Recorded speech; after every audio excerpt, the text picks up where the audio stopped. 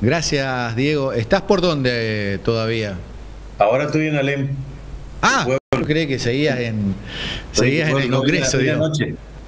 Anoche. Ah, bueno, contame un poquito de qué se trató todo esto que hemos publicado durante el fin de semana eh, y te escuché un poquito también en algunos fragmentos. Bueno, eh, en primer lugar, este, como el Parla Sur, nosotros somos parlamentarios, no diputados, este, se reúne una vez por mes en Montevideo. Hace un tiempo se había este, justamente planificado, creo que era con el Parlasur anterior, con los que conformaban el, el Parlasur anterior, era este, justamente hacer reuniones donde está el foco del problema, donde está el problema, y se, se pusieron de acuerdo que iban a hacer todo en, en Foz de Iguazú, primero, y en septiembre en Asunción, Paraguay, mm. para tratar justamente todos los temas que son la problemática diaria del ciudadano común en las fronteras. Por eso eh, funcionamos primero el sábado con una reunión en la Cámara de Comercio, donde asistieron más de 300 personas, que eran muchos de las cámaras que tienen que ver con todo lo, de la parte argentina. Estaba la gente de Iguazú, concejal de Iguazú, había este, eh, también el presidente del ente de turismo, estaba la gente de Ciudad del Este y de, Paraguay también, y la gente de FOS. Eso fue el sábado en una audiencia pública donde presidió el presidente de esa, esa que estás mostrando ahora, el presidente justamente de la Cámara de Comercio, y bueno, donde se abordó la problemática de qué pasa con el Mercosur a través del tiempo, de los años. Cuando me tocó intervenir, le dije de parte de nuestro gobierno, de nuestros intendentes, pero fundamentalmente del ciudadano común, que quiere que le simplifiquemos la vida. ¿Cómo? Que en pleno mundo moderno, lo que vivimos hoy, hablamos de inteligencia artificial, que hablamos de todas las cuestiones y las bondades que tiene la tecnología, ¿qué es lo que tenemos que hacer? Agilizar la frontera. ¿Cómo? ¿Cómo? ¿Cómo? Simplificarle las cuestiones a la gente, que no tenga que ver con un, un trámite engorroso, sino que apliquemos la tecnología de decir, llego, escaneo o hago un formulario antes, bueno, ahí surgió que, Brasil no tiene, otro tipo de documentación, todas las cuestiones, pero abordamos esa temática y, este, bueno, cada uno hizo, su mea culpa y este, nos pusimos todos de acuerdo en pedirle a los poderes ejecutivos de que agilicen la frontera para que la gente que quiere ir de un lado a otro no tenga que hacer lo que vemos acá en Posadas o lo que vemos en Foz Iguazú. Para pasar a Foz Iguazú tener dos horas, para pasar a Posadas tener dos horas, como suerte y como rápido, ¿no? Entonces, el que quiere venir a comer o hacer algo, le entorpece la vida. Entonces, ¿de qué integración y de qué mercado común del sur estamos hablando? Y cuando te digo, cuando a mí me tocó intervenir, le digo, si nosotros no solucionamos el problema a la gente, y está de mal Mercosur estamos de mal nosotros, ¿no? Claro. Eh, ¿Y cómo, cómo acelerar esto, digamos? ¿Para qué sirve? Eh, quiero entender un poquito cómo es el laburo de ustedes, el, trabajo legislativo. Eh, veo que estuvieron también en Itaipú, eh, hicieron una foto del Pleno. si eso se puede activar a través de las sesiones que organizan ustedes, si es práctico eso. Bueno, esa, la que te conté fue la reunión de la Cámara de Comercio de Foz de Iguazú, donde fue la audiencia pública que participaron además todos los funcionarios, eh, Cancillería de, los, de, los tres países, en este caso que estaban, el Mercosur integran cinco países, pero estaban los tres países de la frontera que estamos integrando ahí en ese momento. Eh, después sí fuimos a Itaipú el lunes y este, tuvimos una, primero una sesión especial y después tenemos, tuvimos una que es eh, la ordinaria. Ahí es la que obedece la foto de la familia ¿Qué es lo que estuvimos haciendo? Bueno, ratificamos y creamos la comisión que tiene que ver con el seguimiento y con todas las cuestiones que tiene que hacer y llevar adelante y poner en pleno lo que hablamos. Y también ahí estuvo el presidente de la Comisión de Mercosur de la Cámara de Diputados de la Nación, este, así que para articular junto con los estados parte de lo que son el, el Parlasur. Porque ¿qué hace el Parlasur? El Parlasur se reúnen los miembros de los cinco países, en la mayoría de ellos son diputados y senadores, como el caso de Paraguay y Brasil, ¿no es cierto? Este, Uruguay exactamente igual.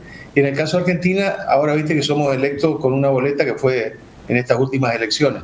Así que bueno, eh, un poco es eh, transmitir, llevar adelante a través de la Cancillería y también de la Cámara de Diputados y de senadores de los países miembros integrantes las inquietudes y las cuestiones que nosotros abordamos como países miembros.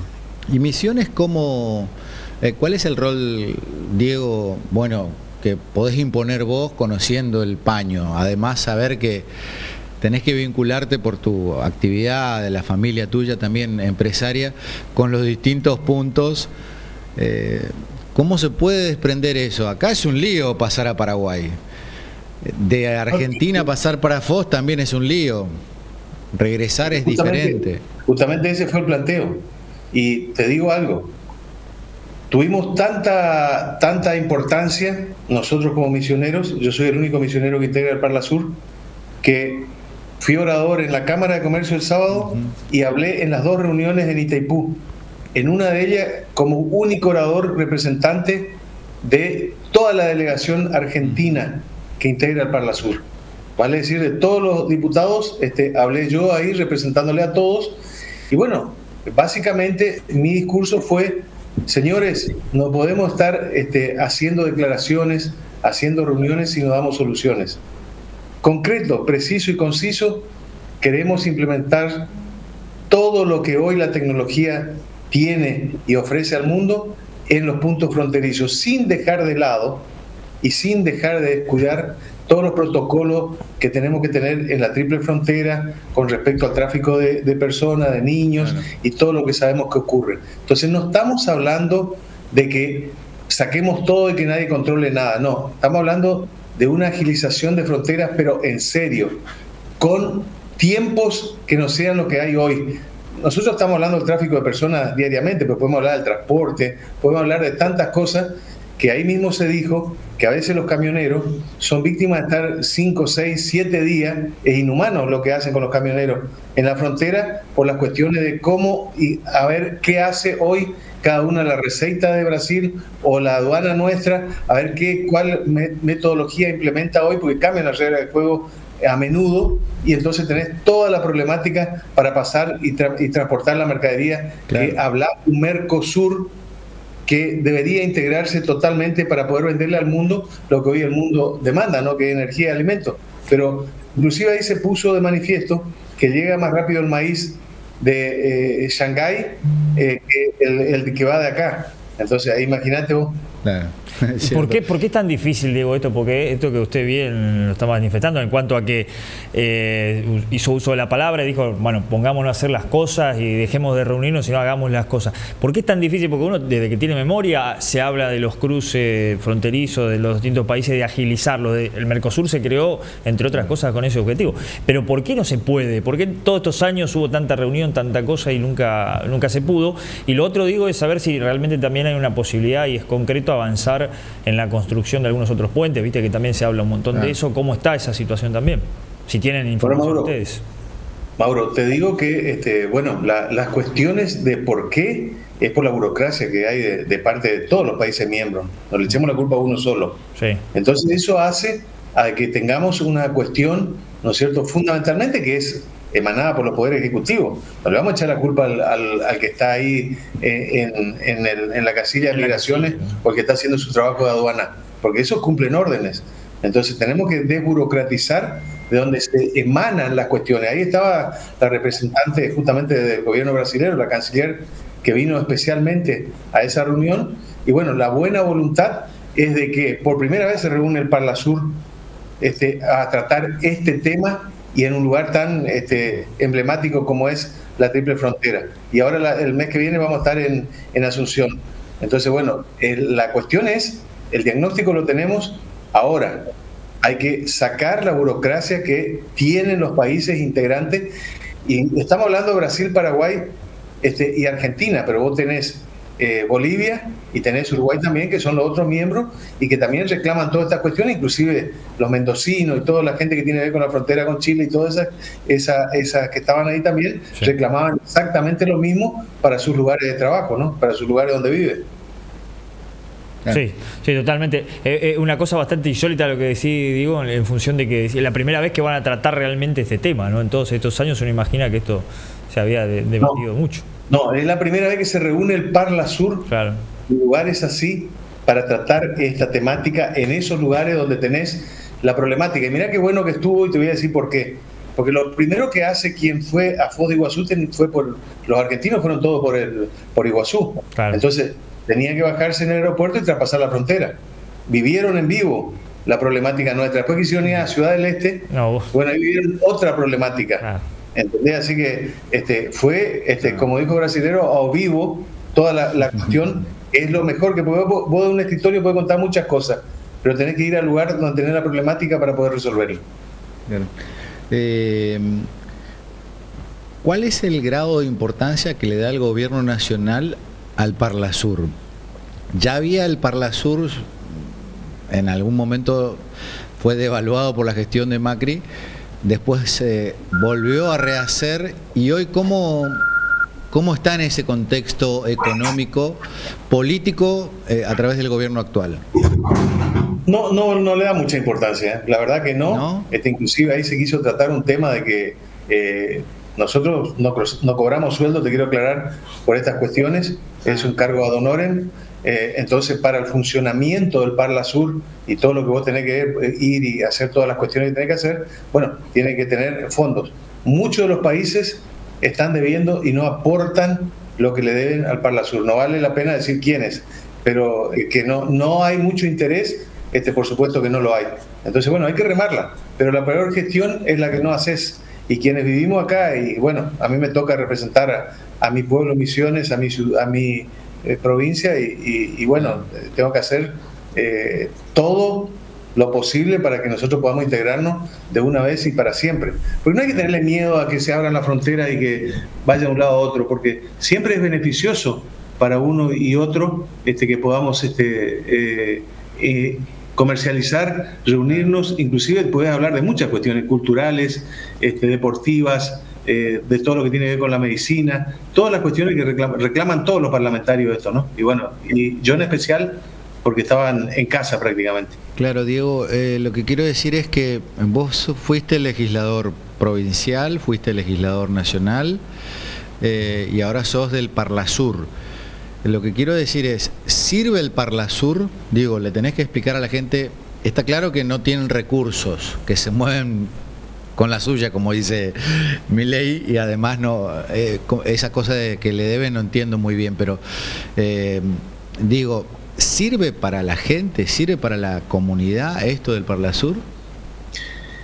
Y si da resultados, sí, Jorge. Si no, no sirve. Vos si no eso es lo planteado ahí. Si nosotros vamos y hacemos reuniones, conversamos, hacemos cuestiones y no resolvemos la temática, y yo creo que la gente no quiere eso.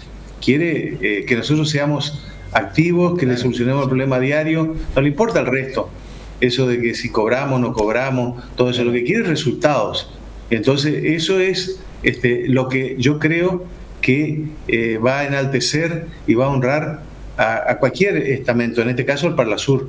Entonces me parece bueno el criterio de ir a los lugares y ojalá podamos tener éxito en todo lo que planteamos. No, no estamos planteando mucho, ¿eh? estamos planteando que en el, en el, este, en el, como ahora en el tiempo que vivimos, necesitamos traer la tecnología que habla al mundo, o hablar de tecnología eh, y de eh, inteligencia artificial, de tecnologías de ultramodernas y todas esas cuestiones, bueno, implementarlas en la frontera.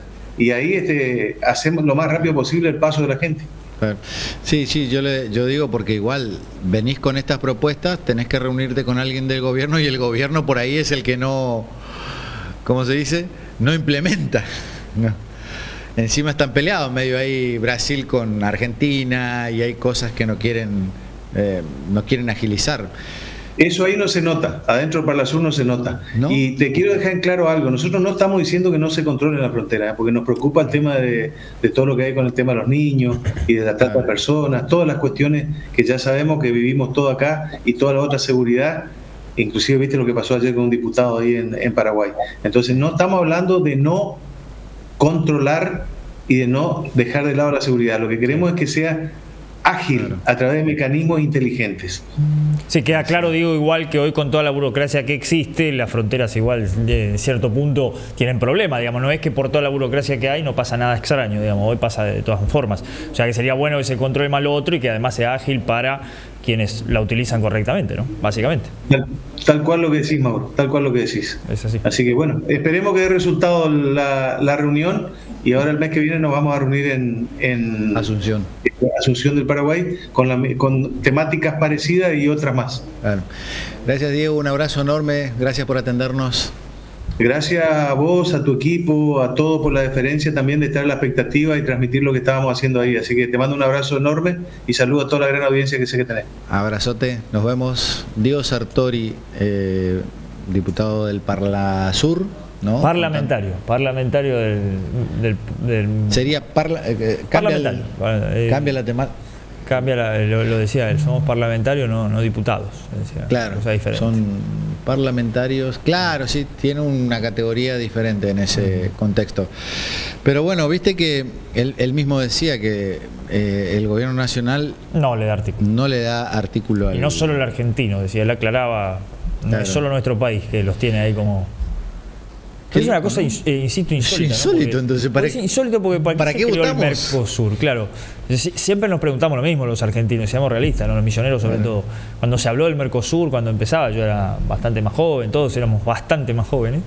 Y decíamos, bueno, qué bueno, fíjate ahora empezó, vamos a parecernos más entre comillas, en todo eso que siempre nos queremos parecer a los europeos, viste que las fronteras son bastante abiertas, eh, pasás de un país a otro y bastante... Acá no pasó nunca. O sea, acá seguís teniendo los mismos. Cuando querés va a ser lo legal, ¿eh? porque como decía eh, Sartori recién, eh, lo que se busca es agilizar lo legal. Lo, ilegal es ágil, digamos. Se hace y listo. Sabemos que es así. No, no somos giles tampoco en entender que en nuestra frontera no pasa. Lo ilegal se hace igual, pero hay que agilizar lo legal, digamos. y nunca pasó eso. Y, y la otra cosa que explica, por eso se lo preguntaba y Sartori decía, es la primera vez que el Mercosur en todos estos años se reúne en los lugares que son los afectados por estos problemas y a dialogar de estos problemas. O sea, uno daba por sentado que en algún momento el parlamentario hablaron de, cómo agilizar la relación entre los países y el cruce. Y no, parece que no.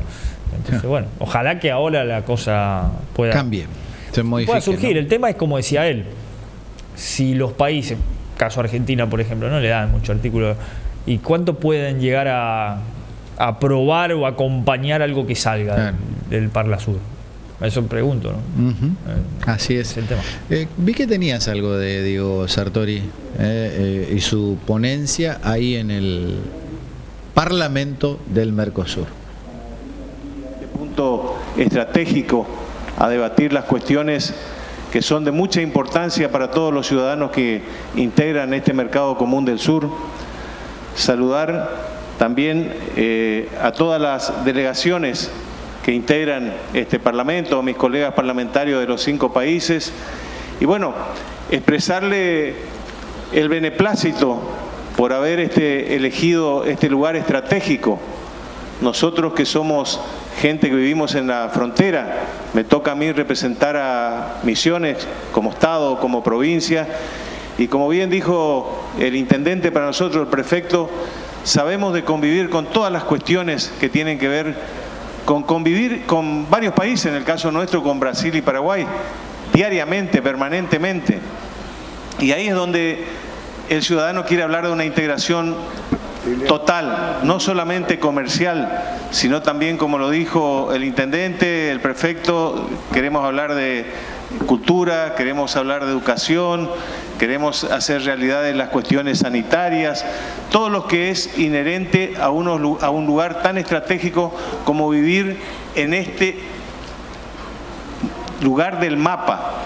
Por eso yo celebro, Presidenta, a usted y le agradezco haber elegido este lugar estratégico para venir a tocar la problemática en el lugar del problema de la frontera nuestra. Mire, ha generado una expectativa tremenda esta reunión. Hoy me preguntaba el parlamentario Fuchs de Argentina, dijo que ha visto, ha visto muchas noticias y mucha expectativa al respecto. Con modestia le digo, todo el mundo está expectante de que hagamos de una vez y para siempre realidad el mercado común del sur. Y hacer realidad significa integrarnos, es decir, la frontera tiene que ser más ágiles, sin dejar de lado, obviamente, las cuestiones de seguridad. La, la integración debe ser plena totalmente. Eso es lo que espera el ciudadano a quienes representamos. La gente tiene expectativa de que nosotros hagamos una reunión, pero que también llevemos las soluciones. Por eso yo quiero expresar mi agradecimiento como hombre de frontera, como hombre de la provincia de Misiones, como representante de la delegación parlamentaria argentina que agradezco la deferencia de haberme dado la palabra a mí, que vivo acá, que los represente, valoro mucho esto y decirle, gente, la ciudadanía tiene expectativa de que nosotros la ayudemos. Y quedó plasmada el sábado, en la reunión que hicimos en la Cámara de Comercio de aquí de Foz de Iguazú. Vinieron más de 300 personas, más las que se conectaron en forma online, diciendo queremos hacer realidad en serio el mercado común del sur. Así que agradecerle, agradecerle la deferencia de venir y creo que el mayor broche de oro que podemos ponerle a esta reunión es que después de habernos reunido aquí, el ciudadano que tiene expectativa de nosotros pueda ver plasmadas realidades que hoy nos demandan. Muchas gracias.